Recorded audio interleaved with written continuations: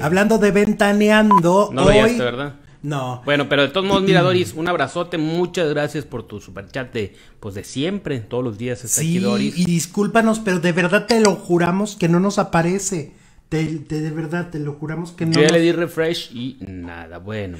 Bueno, Ventaneando hoy cumple 25 años. El 22 de enero de 1996 salió al aire el primer programa grabado a las 7 de la mañana, transmitido en la noche. O sea, no fue en vivo. No era en vivo. El primer año creo que no fue en vivo. Todo el año. Todo era eh, así como les comento. Era a través de, de. Porque aparte Pedro Sola todavía trabajaba como.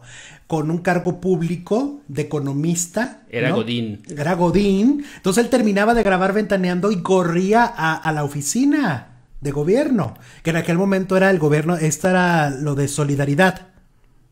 Todavía de Carlos Salinas de Gortari, ¿no? Ajá, en ese momento estaba Ernesto Cedillo, ¿no? Como, como presidente. Y pues bueno, ventaneando, ¿qué no ha pasado durante estos 25 años? ¿Cuál crees tú que ha sido el mayor escándalo? Yo a mí, por ejemplo, para mí fue inolvidable cuando Ana Bárbara pidió réplica, valiéndole que la vetaran de Televisa. Fue, se plantó, insultó a Bisoño, se defendió, lo despreció, lo hizo llorar. Y, Y luego después fue a todavía rematar, ¿no? Y él le llevó flores y iba con la tigresa Navarra. Ah, sí, que nunca entendimos por qué Doña Tiger fue de chismosa y mitotera, pero ese momento creo que es épico. ¿Qué otro momento es épico de Ventaneando? Bueno, de, investigaciones, pues el caso Clan Trevi Andrade, ¿no? Sí, Que destaparon la cloaca de todo el escándalo de la Trevi y Sergio Andrade. y provocó que los provocó- demandaran. Exacto, la demanda todavía continúa, ¿no? Están demandados en Pero Estados provocó Unidos. no nada más que, que los demandaran, sino que estuvieron en la cárcel en Brasil, eh, Sergio Andrade y, y, Y en Gloria Chihuahua. Trevi, y después en Chihuahua, ¿no? Aquí en la capital del estado. Claro, se destapó un- uno de los casos más horrorosos del espectáculo, ¿no? Donde menores de edad estaban involucradas. Eh, yo creo que definitivamente eso también marca Ventaneando. También creo... Cuando hacían ese tipo de investigaciones, qué padre, ¿no? Sí, muy buena investigación. Hubieran seguido por esa línea. Eh, también, por supuesto, el, lo, que, lo que pasó con la oreja, cuando se empezaron a pelear, que estaban los dos programas en vivo Carmen y se empiezan a pelear los dos programas. A Mónica Garza la mandan a entrevistar a Carmen Campuzano y la reportera de la oreja se quiere meter primero, dice yo soy primero y la ventaneando dice no, yo soy primero y órale que tú las traes, pero quítate y le pone una agenda para tapar la cámara y, y se gritaban y Pati Chapoy gritaba en el estudio y por el otro lado Flor Rubio gritaba en la competencia. A lo mejor desde ahí viene esta rispidez, ¿no? Porque hubo este enfrentamiento público muy fuerte, nunca había pasado, o sea, tú nunca has visto a Javier Alatorre peleándose con López Dóriga o con Denise Merker. Ni a dos este, televisoras al mismo tiempo enfrentadas, ¿no? Ajá. En el mismo evento. En ese momento se enfrentaban y además era por Cam- Carmen Campuzano. Que yo digo, bueno, pues, o sea, así que digas tú, vamos a pelear, vamos a meter pelearnos por alguien, por Luis Miguel, ¿no? No, pero Carmen Campuzano, Campuzano en ese momento la estaba pasando muy mal. Había tenido el accidente, se había desta- destapado lo de las drogas. Era la nota cuando no había tantas notas. Sí, eso sí. Entonces era, era pues el rating, obviamente. Oye, y cuando salió Pati Chapoy a decir, mi 1.49 y me quieren meter a la cárcel. ¿Te acuerdas que Televisa estaba afuera de su casa? eh, en, ahí en, en, en, este, en la Ciudad de México, queriendo llevársela a la cárcel. Y la tuvieron que sacar en helicóptero, ¿no? Sí. Y llevársela a TV Azteca en helicóptero como llega Ricardo Salinas, así se la llevaron a ella para que nadie la tocara. Y llegó al foro de Ventaneando, recuerdo, con un vestido blanco, ¿no? Y, y se planta frente a la cámara y dice, este, me quieren meter a la cárcel por hacer mi trabajo. Y todo el país en ese momento era, "Ah, ¿qué está pasando con Pati Chapoy y Televisa, no? Sí. Lupe Reyes dice el oso de Pedrito Sola y la mayonesa. la Ah, inolvidable. Eso, bueno, todavía los persiguen los memes. Sí, ¿no? eso, eso fue inolvidable y fue un momento muy un momento muy tenso.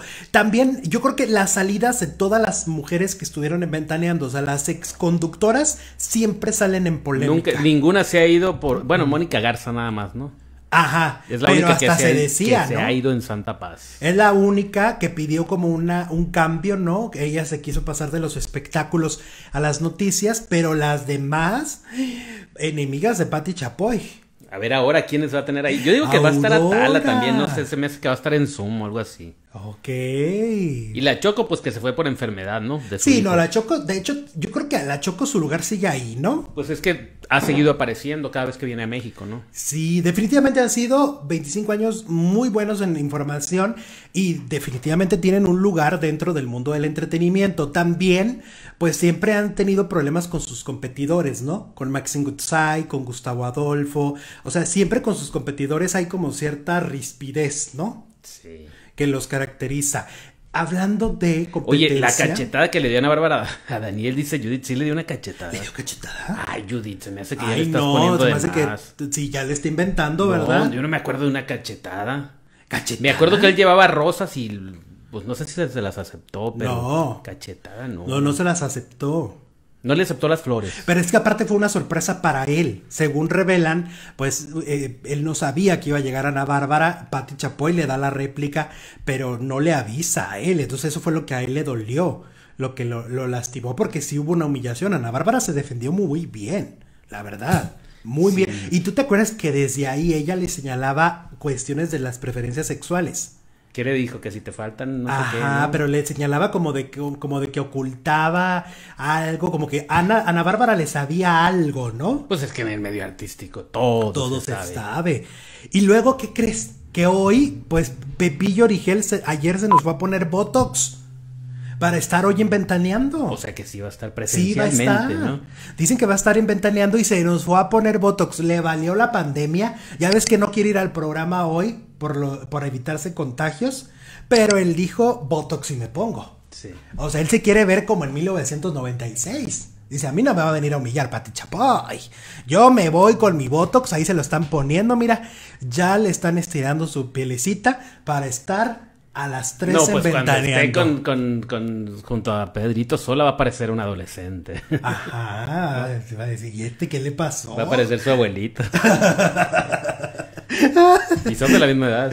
Sí, sí, sí. Dice Normandrea en Faranduleros hay uno verde de María Jesús eh, Rico. Ya lo leí, Normandrea, lo leí muy al principio. Muchas gracias. Gracias también. Pues mira, ahí está eh, Pepillo ah, poniéndose su botoxito este, dándole duro para verse. Ay, qué miedo, ¿no? Todo eso. Ya sé, para verse mejor que nunca hoy en venta. cómo quedó? A ver, eh, no es, bueno, es que creo que no, se nota. se lo pusieron. Pero se nota en el transcurso del, del día. Del día, ¿no? De, la, de ¿Alguien se ha puesto Botox aquí en, el, en nuestro chat? A ver, cuenten, cuenten. Yo la verdad... No le vamos a decir a nadie.